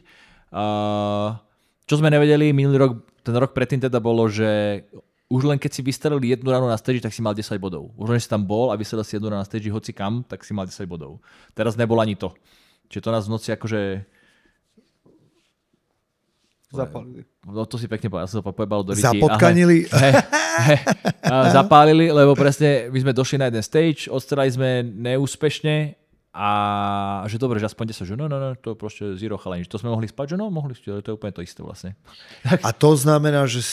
A to sú veci, ktoré vám vedia nejakým spôsobom byť známe pred? Je to niekde napísané v nejakých Áno, pravidlách? áno, áno, sú tam pravidlá, akože ja som presne, ne, ne, nečakal som update na tento rule, proste možno som sa A, tam okay. len nedo, Úplne, akože ja som presne človek, ktorému by sa stalo to isté. Tak sa len pýtam, že... Sú pravidlá. Že, aha. Akože viem, že sú, ale či takúto vec zistíš, vieš, že... Neviem, asi, asi by to tam bolo, asi Mhm. by to tam bolo. Asi hej. Ale no. akože tam to je, vieš, to, to, akože tie strelecké stage bolo to, že ty môžeš podľa mňa taktizovať koľko chceš, ale kým to nevieš odstrieľať, tak je to jedno. O, je, však, Jasné. jasné. je to stelský Lebo stage. to no. akože fakt, to, tam to vedelo byť punishing, že keď ne, ne, vieš, že mohol si, akože ja si úprimne do dnešného dňa myslím, že mohol si šlapať jak malý boh, mohol si taktické streče spraviť, ale keď si to neodstrelal, tak si to proste neodstrelal. A bolo to úplne takisto, ako keď si odstrelal jak malý boh a urobil taktické stage, ale neodchodil. Vieš, to je to je, tretina bodov, je to tak- to isté stále do kolečka. To proste nenahráš No, tam bolo tam, bolo tam, bodov. jak som povedal to umiestnenie, bolo tam minimálne 10 párov, ktorí strelali horšie jak my, ale tým, že lepšie nachodili. Ale vieš, tak to, posunuli. ale nebol to rozdiel, ja neviem, že vás porobí. Ja, 10 že chcel povedať, keby si to nedal, že vôbec, 800 keby si tam bol úplne krivý, asi A, myslel. okej, dobre, To myslím, no. vieš, že keď máš na každom druhom stage nulu, alebo minus, Ja aj No, takto, toto dobre, dobre, myslel. no. vieš, a možno si konečne niečo trafil na 100 bodov, vieš, že z 26 stageov máš možno, povedzme, že na 7 100 bodov, tak to je úplne jedno, či si chodil, aj keby si po rukách sa plazil, tak je to šumák. Tak. OK. Takže to, to si treba vyhodnotiť. A ja si úplne, že to si myslím, že máš vyhodnotiť, že ak máš na 26 stageoch proste na 7 si sa trafil, alebo máš na, sebe, na 7 bo, bo, plusové body, tak je úplne jedno, čo si ostatné robil. O, predtým, než sa posunieme o, k tej kultúre o, v tej krajine a okolo súťaže, tak musím povedať, že prvýkrát teraz naozaj cítim, že by som išiel, že veľmi adiktívne e, mi znie to prioritizovanie a potom e, tie konsekvencie, ktoré si za to nesieš. Hej, že, No to áno, no. že dildo v consequences, poznáme to, hej, že... Takže, Dildo of consequence. nepoznáš, nepo, nepoznáš uh, ten, tú vetu, že dildo of consequences uh, rarely comes looped, ne? že to nepoznáš, to si v živote nepočul. Super. To ti vôbec neverím, že si to nevidel na internetu. No, asi áno. To vždycky, keď ukazujú nejaký dronový footage uh, z Ukrajiny, ne, tak, tak proste vždycky ten dron považujú Ale za dildo pravda. consequences. No. Ja tiež Že proste hovorím, neprichádza na lubrikované a ide rovno do prde. K jadru veci. A tam je to, ale na tej pechote to je úplne krásne, lebo ty máš reálne, že 36 hodín ideš stále a nej si ochotný napríklad obetovať 10 minút na to, aby si si na tej zasratej mape nakreslil, kade pôjdeš. Vieš, že 10 minút toho času si povieš, že takto pôjdem, aby to bolo že najrýchlejšie, najrozumnejšie a najefektívnejšie, čo vlastne v tom kontexte tých 36 hodín je šumák. Akože- Keď, keď vieš, že, že buď to, vieš, ty vlastne riskuješ tými 10 minútami, že buď to budem šlapať, lebo rovnakú vzdialenosť vlastne odšlapeš za ten, za ten čas, ale buď to pôjdem, že 10 km a zoberiem 4 waypointy, lebo som to naplánoval, alebo pôjdem 10 km a nájdem jeden.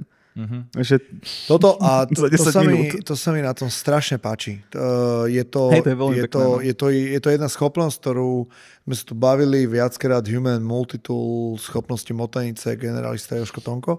A ja si myslím, že toto, že rozhodovať sa pod stresom, pod tlakom a potom aj tie konsekvencie brať a neskôr ladiť. Lebo ty dokážeš z toho podľa mňa nejakým spôsobom dostať, vieš, prehrávať, dokážeš to nejako otočiť, e, nestratiť ducha. Hej, že, že naozaj ísť a mokrý a ve, že je to výzva a veľmi sa mi to páči a Alebo pripomína. Alebo nahý. Hej, nahý. Čo ja, ja teda určite ocením, ale uh, sa mi to páči. A normálne som si teraz spomenul, počúval som podcast s Erikom Princom, zakladateľom a CEO Blackwateru, ktorý hovoril, že víkendové teambuildingy vyzerali nejak takto. Ale samozrejme, moc toľko sa nestrel, ale navigácie veľa a presne povedal, že zle sa rozhodol, you screwed. Proste, že, a to sa mi veľmi páči. Hej, že, že hneď som si predstavil, že uh, keď budeme mať eh, viac zamestnancov a keď sa budú deť veci, tak, tak to nejak by to malo vyzerať. Lebo podľa mňa toto je pre manažérov, pre ľudí v rozhodovacích pozíciách kľúčové. Fakt super. No však áno, tam, vieš, to presne ťa to naučí to, čo sme teraz povedali. Ja Ak nie si ochotný obetovať 10 minút, čo je vlastne možno tak 3% z toho celého, tak to máš to isté. Keď nevieš urobiť normálne, že reálne rozhodnutie, ktoré bude mať dôsledok na najvyšších troch rokoch, tak je to úplne, to je, to je tá istá vec. Tomu veru. Ale hlavne urobiť ty sa nejaké, zaslepíš nejakým strachom, že Ježiši Kriste, No. 10 minút tu budem ležať navyše. Presne. Zaslepíš sa strachom a potom vlastne... Potrebujeme to, ísť, vieš, aj a ten do, stres. A, a dotiahne ťa to naspäť. A ťa to stiahne naspäť dole, No. tam, kde si bol. A tam príde to dildo. Tam... Dobre, eh, čo mi poviete k atmosfére v krajine? Hovorili ste lokálne pomery. Eh, To mi opäť, to mi opäť iba potvrdilo to, čo ja hovorím, že, že riešiť um, veci na lokálnej úrovni je podľa mňa prínosné, hej, povedzme to takto asi, aj keď tu v Európe to není úplne, úplne um, populárne, v Amerike viac, ale sa mi páči, ale myslím si, že, že to je cesta k dobrým zmenám, keď ľudia na lokálnej úrovni uh, podporujú, akceptujú, znie zvláštne, ale povedzme akceptujú a, a, a vnímajú veci normalizované. Hej? Že, čo mi k tomu poviete viac? Ja môžem povedať, tento rok to bolo také iné, lebo sme tam teda boli šiesti kamoši, plus som tam poznal oveľa viac ľudí, čiže to fakt bolo tak, že si šiel, a čau, ej, čau, čau, Joško. čau, Joško, Ferko, Tonko, jak si Tonko. povedal. Prvý ročník to bolo také iné, lebo sme tam vlastne boli sami a všetci ostatní boli akože cudzí a boli strašne priateľskí. To bola vec, čo som, keď som odtiaľ odchádzal, a to som aj hovoril, že tá polská komunita tých strelcov okolo tohto je že strašne cool, strašne v pohode. Nehra, nie sú tam žiadni zabijáci, vrahovia, kto sa na seba hrajú. Aj to, že sme si hovorili, že vlastne sú to čaovia, ktorí akože reprezentujú niečo, hej, Tie svoje biznisy napríklad? Áno, áno. Presne Okay. tak. Tak sú strašne, strašne v pohode všetci, že nikto sa nebere úplne vážne, proste vedia, o čo tam ide, samozrejme pretekajú, hej, chcú vyhrať, ale je to celé v takej veľmi dobrej atmosfére. A to, sa, to bolo aj tento rok, len už som to nepocitoval tak, jak taký outsider, ale už som, už som tam poznal kopec ľudí, tak to bolo také, že sme sa vlastne my stretávali, že už si tak ne, nepočúval, čo sa deje okolo, lebo si už vedel, cieľene si sa chcel baviť so svojimi kamarátmi. Jasné. Ja, úplne ti po, na, najkrajšie to ináč to ironuje, že nebolo to toľko cítiť pri strelbách, ale bolo to krásne cítiť na tých kajakoch. Že normálne, že na kajakoch, keď sme stretli Poliakov, tak to bolo, že ti normálne, že pomaly, že poradia a pomôžu, že čo, ako by sa malo ísť, koľko ešte asi pôjdeš, aj keď technicky tam malo kto vedel, koľko sa ešte asi pôjde. To, hlavne v tej noci to bolo, že random, nikdy nevieš, kde si. Ale jak mi si stretol iných, normálne, že Rakúšáci, Taliani, cez krv. Normálne, že cez krv išli cez teba, aby sa aj predrali, len proste, aby išli na tom kajačiku, pritom to bolo v tom kontexte Tak padlo im jedno. imperium, vieš, to A- a- si treba uvedomiť, vieš. A, a Poliakov bolo úplne, že normálne, že zostali stáť, vieš, počkali, poradili prípadne, že ne, takto sa vytočte, tak prejdete lepšie. Pekne to, to bolo veľmi pekné. To Hej, na tých sa kajakoch, že no. tam, tam reálne sa, nemyslím si skorej, že, že, že išli cez krv, ale jednoducho sa tam púšťalo štandardne. Proste keď si Púšťať sa išiel, púšťalo, no, jasné. išiel si a teraz nás predbiehal nejaký tým, ktorý bol rýchlejší, tak to bolo akože ne, že si si ich chcel teraz vyblokovať, že ľava práva, ale proste si ich pustil, nehal si ich prejsť a ty si si šiel zase svoje Jasné, čo by Ale- si im dával padlo do úst, keď ich môže streliť. No. No ale napríklad akože Talianov, ktorých sme my teda ochotne pustili, lebo nás blbo vytočilo na padnutom strome a nepekne nás vytočilo na tom padnutom strome, tak sme sa ochotne Talianom uhli, že teda poďte, lebo ste pekne rozbehnutí a chlapci si teda až povedali, že sú dokonca kajakovania pred nami, že už musia byť pred nami a končilo to na tom, že nás doslova až vytlačali na niektorých miestach. Sme zostali takí, že chlapci, ale že teraz ste spriečení vy, tak my ideme ďalej, lebo nejsme. A vlastne v kvôli sme skončili potom zase spriečenými, lebo neboli normálne, že nebol ochotný ten čávo sa len odtlačiť, počkať, kým prejdeme a potom ísť ďalej. Všetko Normálne, je o že ľuďoch. normálne to odmietol. Ako jasné, že to je o ľuďoch, ale normálne, že bol odmie... normálne, že bol, nebol ochotný už proste prijať to, že by sme my prešli. A to ma, mafia, že- mafia, špagety, No, černý presne. knír. Avanti, No, a Fiat, pizza, pizza. pizza, ristorante. Chápem, akože... A nikto to nikomu nepleskol? OK, takže, takže nebo, nebo, Akože ja som, ja som nebol ďaleko od toho, aby som pustil tomu Talianovi do achilovky ten, ten čln napos, na, naplnený, ale teda no, Defor to na mňa kričal, že to mám spraviť a niekde, Kamoš ťa podporí, ne? vždy ťa vyčiluje, ne? a, a niekde, niekde v mojom vnútri bolo, že teda asi by som nemal mu pustiť na tú achilovku ten čln. To mi pripomína, že raz, random story, ale raz e, sa mi stala motanica, tak to bol som s Bakom a s Tylerom a a po tej motanici bol to konflikt vonku, hej, ne, nebol, nebol žiadny fyzický kontakt, nič. A ja hovorím, že neviem, chalani, čo mi tak uletel dekel, že ja som si myslel, že vy budete tí, tí racionálnejší a Tyler sa smial, že že vôbec Bak nebude racionálnejší, kamož, to si nevybral dobrého typka. že on ťa len podporí v najväčšej to na- blbosti. Mu to na tú Takže aj ten starší ešte k tomu. No. Dobre. To povedali sme si, čo to o pechote. Teraz apel na posluchačov, ktorí sa dopočúvali až sem a teda mali by chuť si to vyskúšať. Tak napíšte nám otázočky, možno vám odpovieme ešte niečo, sme nespomenuli. Možno A- nie. A možno nie. Otázka, či ťa v tom podporí Defort. Opujem sa na všetko je opýtať. Takže určite, určite nám napíšte, uh, čo sa týka nejakých organizačných vecí, my sa tam teda chystáme ísť aj najbližší ročník, takže keď nič iné, tak sa tam možno uvidíme. A počilujeme tam v rámci nejakých dvojhodinových mikrospánkov. Nejaké otázky ešte? Viktor, povedz, ty si 15 teda... Um, mne ste, mne ste zodpovedali na všetko. Ja, ja teda som sa tu nepýtal na silu nič kvôli poslucháčom, budem úprimný. Čo som vedel, som vedel, ale uh, te, te, teraz mám o mnoho lepšiu predstavu. Vysvetlili ste mi, čo je chodí, nechodí. Fakt také veci, čo, ma, čo som mal v hlave, tak, tak ste mi zodpovedali. A hlavne náturu tej súťaže ja vnímam uh, v tom rozhodovacom procese pod tlakom a stresom a únavou a považujem to za tú pridanú hodnotu a um, je, to pre mňa, je to pre mňa niečo, prečo by som tam išiel. Tá, tá, táto konkrétna vec. Takže ja vám ďakujem, že ste mi objasnili veci a jak to bolo, chalani. Nemáš za čo. veľmi radi. Veľmi radi, veľmi Ja radi som- sme sa to... No, povedz. Ešte mal jednu vec a teraz nepamätám si, jak to presne vychádza časovo, že kedy poje táto epizóda von, že či to není akurát tak, že to bude oné s TGčkom prekrývať. Nejak tak, plus minus, to bude tesne pred Touch Grass, Tesne po, podľa mňa. alebo tesne po. Mhm. Nevadí, ale ako, akože aj tak, ak sa všetko podarí dobre na tohto ročnom v prvom Touch the Grass, tak si myslím, že ak sa všetko podarí dobre, tak to budeme opakovať. A ja by som bol naozaj rád, že mne sa veľmi páčilo na tom Polsku to, že tam boli tí ľudia, ktorí vlastne, či už to bola akadémia, firma, čokoľvek, čo to bolo tým, nazvime to, taktickým alebo streleckým svetom malo spoločné, tak tam boli reprezentovať to, za čím stoja, to, čo učia. Mne to veľmi páčilo, mne to veľmi, sa, veľmi mi to apelovalo a ja dúfam, že, že to uvidíme aj tu na, akože na Slovensku. Áno, a není teda- to teraz smerované do toho, že by tí ľudia museli alebo nemuseli, alebo Ne, že ne, sa to... niečo ukáže, neukáže, ja si nemyslím, ja si myslím, že tí ľudia to sú všetci schopní, len proste by som to rád videl, že to vie pekne podľa mňa aj tú komunitu celú stmeliť. Čo Seržo spomína je taká súťaž menšia jak pechota, ale snažíme sa niečo podobné spraviť tunak eh, na Slovensku. Eh, Bude to prebiehať v oktobri, v polke oktobra, alebo v druhej polke oktobra. Mm-hmm. Čiže myslím, že to bude, to bude tesne, vyjde to tesne potom. Ideme Takže už ste asi počítať. potom videli internet, na internetoch to potom uvidíte.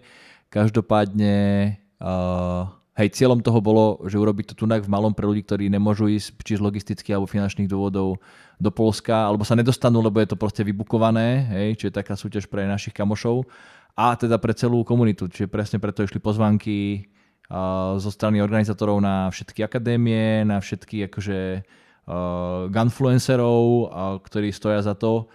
A a... Čo? Ty si nedostal, Viktor? nie, nie, no, mi to došlo vtipné. Čo? A, a, Nie som taký.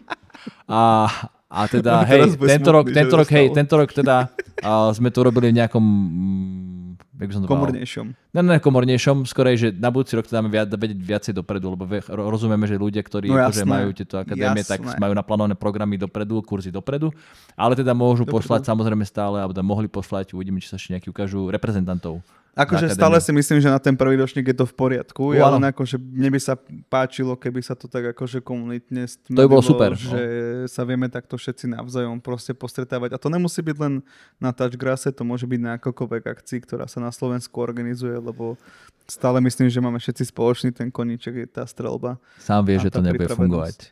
Prečo? Ja tiež by som to chcel, ale, Ja ale bojím to sa, chcel. že Mne to je na úplne... Miško, ľúbi sa mi tvoj realizmus. Fa, akože normálne teraz si ma potešil. Ne, ne, ne, úprimne, úprimne uh, to je asi na celý nový podcast a nerad by som skončil na takúto akože smutnú tému.